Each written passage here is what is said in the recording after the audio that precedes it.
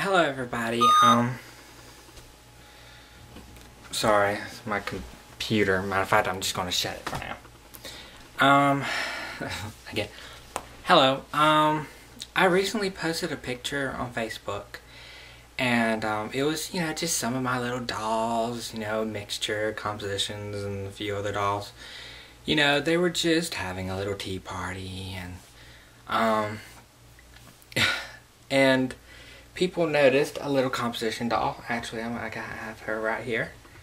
Um, sitting at the table, and one was like, "That's a nice patsy." I'm like, "Oh, she's not a patsy. Um, I'm I'm not lucky enough enough to own a F&B patsy yet." Um, but they're like, and then someone else.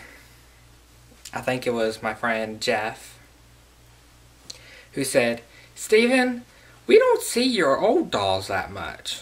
Um, and I was sitting there going, he's actually really right.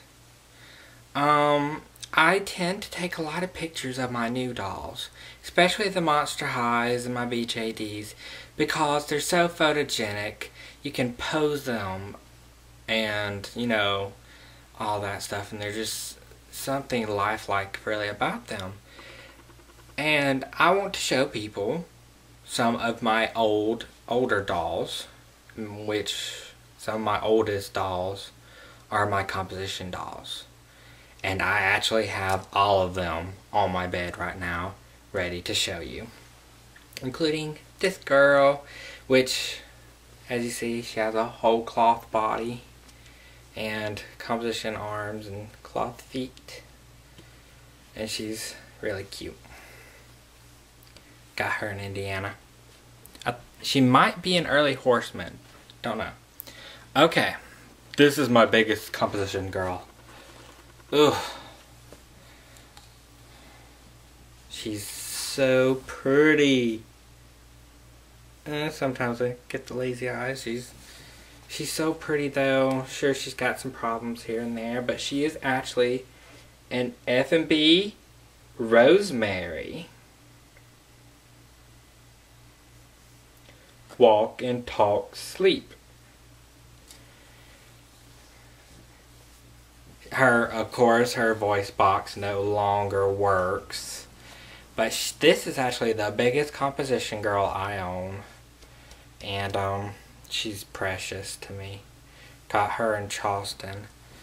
It was a great memory. Okay. Um... This is an ideal composition doll. Take off this hat. Sorry, her her wig is not in the best shape, but you can see her face better. Um, interesting story with this girl. I actually, when I was shadowing a um, photographer for school and high school, um, we went to an antique store up in Little Mountain, South Carolina which is a, a few hours away away from here. Um, never been to this place before. And I was walking around an antique store up there because, you know, what where better else to take pictures of than an antique store? I mean, so many beautiful things there. And I saw this beautiful doll and I took a picture of it, of her. And I made that picture one of the backgrounds on my computer screen. And years later, I got a Laurens, which is about, uh, I don't know, half an hour away from here. Doll, the same exact doll, her, was sitting in an antique store up there. I thought it was fate, and I had to buy her. And here she is. Okay, here is another doll. I'm guessing German. German composition. Open mouth. Um, composition. Hands cloth body and legs. Um, she has a little damage on her head. But she's super cute, and I got her in North Carolina. Most of these dolls are unmarked, so I don't know much about their makings. Okay. This girl I actually had restored by a lady on Facebook. Um, And I thought she did a pretty good job. She is very old. As you see, her legs are not even. That was how she was made. That was not from the restoration. This was actually how she was made. But her body is stuffed with straw made out of a burlap material. And this is actually the original dress she came with. Probably handmade by um, her original owner. But um, when I got her, she was a mess, a complete and total mess.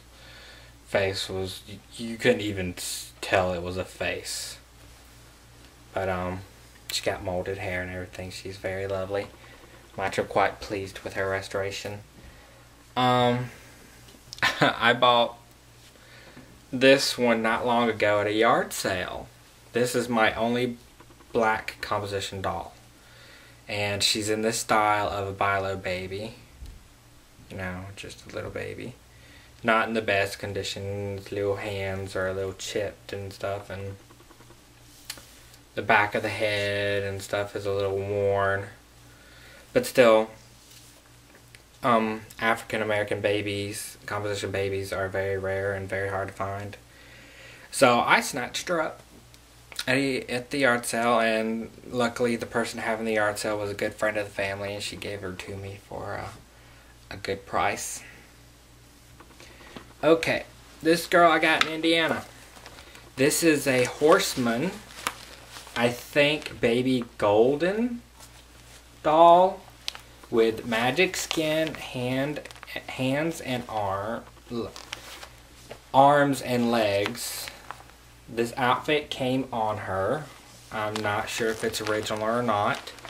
Could be a replacement, but if it is a replacement, it, it is a good replacement. Because it fits her nicely and it looks good on her. I think I paid about $25 for her up in Indiana. But her face is good. She has a, the cutest little face, and her hair and wig is good. And the outfit is also good. So I thought she was a steal. Of course, as you notice, her arms and legs are starting to brown like most, most magic skin dolls do. But that's okay. I do take precautions and I clean her nicely. Matter of fact, she needs it again. She's starting to get a little sticky. Okay. This is probably one of the oldest composition dolls. I know the company that produced her um, closed many years ago and they produced these dolls over a hundred years ago. This is Rosie. I bought her at an auction. She came in this condition. Uh, I saw. Uh, I'm a sucker for dolls. I see them like children almost. And when I see a battered doll, especially like this, I go, oh, you poor thing. Come home with me. Come home with me. I will take care of you. And her lot came up for about $15. And I'm like, oh, hell yeah. Mine, mine, mine. So I bought her in a boxed lot with a bunch of other dolls for $15. Um, so this is Rosie and she has a straw stuffed body. This is a replacement dress by me. I know it's not potentially error correct for her, but it does look sweet on her, and it's the only thing I can seem to find that fits her. And it's not like she's ever complained. I think, I, personally, I think she likes the color pink. Um, this is another Horsman doll. As you can see, its eyes have, you know, done what the worst, what we all hate. And they have shattered on the inside. Poor darling. When I bought this doll, its head was off and beside its body. The, um,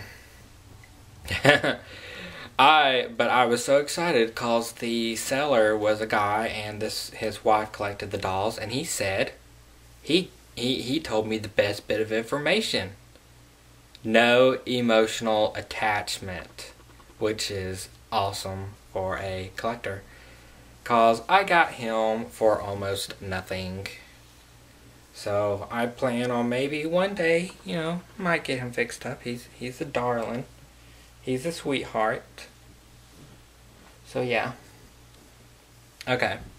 This is a recent buy. This is one of the dolls I bought from the doll, last doll show up in Charlotte, North Carolina. Last time y'all saw her, she was naked. This is her and her outfit that was handmade for her by someone, I guess. But it even has cute little bloomers with little lacings and socks and stockings and shoes and it's just so adorable and she is so adorable in it. I mean, come on. Hello. Um my mom got me this one and I'm like, wow. Um this is a drinking wet composition baby. As you can see, the tube does not like to stay in. But yeah, it's still there though. That's the main thing. It's still there. Okay. Honestly, people, I did not know I had this many composition dolls. I wonder how many dolls I have altogether. I've been asked that question a lot, and I tell them, do you have a few hours for me to count? Because it's going to take that long. This is a little composition baby boy. Um, he's again in the style of the famous Bye-Lo Baby by Grace Putnam. Um, he has a composition head, cloth body and legs, um, but celluloid plastic hands. And a little rattle. He is super cute. I bought him from an antique store here, not far from here. And he was just so super cute. Okay. Um, I'm guessing this is another Horsman. It fits the style. I bought this from the last doll show in Greenville from a nice lady who I see at other doll shows and she's always willing to be nice and cut a deal. But I'm guessing she's another Horsman. Sorry, her eyes get a little lazy sometime. And um, she's in this lovely redressed outfit. She had some crazing going on on her legs, but I tried to do my best to take care of that. And um, otherwise, she is a cute little baby. I have her sitting in a high chair most of the time. Uh, okay, I'm trying my best to be very gentle with them and not mess them up. This is a little doll I got from Indiana not long ago. Um, just a little, she's a cute little composition doll. And um, she's very small because she has a cloth body. She's uh, she's kind of the smallest I've seen of this kind of doll. So that that was very interesting for me. And this one, this is also one of my prized dolls. And I love her to bits and I hope one day I can get her restored. I bought her at an auction as well. This is a Madame Alexander doll. She has her tag. It's a French sounding name. Madelaine DuBain. Um, that's the name on her tag. But I don't know what that means. Um, people are like, oh, well, that's the name, Madelaine DuBain. I'm like, okay, well, who is Madelaine DuBain? Um, was she the designer of the dress? Did she design the sculpt of the doll? Um, is this doll made after her? Was she an actress? Was she a model? Um, I don't know. I honestly don't know. And I would love to know more about this doll because I've never seen this doll before in any catalog or in any magazine. There's only been one time I've seen a random picture on the internet and it was for a doll restoration site. And they only had one picture and it was for her eyes. But um she's beautiful. She has her socks which have lost their elastic so they don't like to stay up. But she has her underwear, her shoes, and everything and she's just beautiful. Unfortunately, her eyes, her beautiful eyes, have cracked. But her hair is still beautiful. And I take care of her with pride. And I dust her dress to make sure, you know, and her hair. I, I try to take as good a care as I can with her. And I do have to admit, with some of my dolls, as I've been growing and progressing in this hobby, I have not taken the best of care of in the past. She was one of them. I had her sitting on the floor next to a vent, an AC vent, and I did not know at the time that the dramatic change in temperatures could affect my composition dolls so badly. When I found that out, I got her up off the floor and I got a doll stand for her and I put her away from the vents and things like that. So, but I, I'm still growing and I'm still learning in this hobby. And I have such great friends here to help me learn and grow. Well, I see I am actually at 16 minutes. I will be lucky if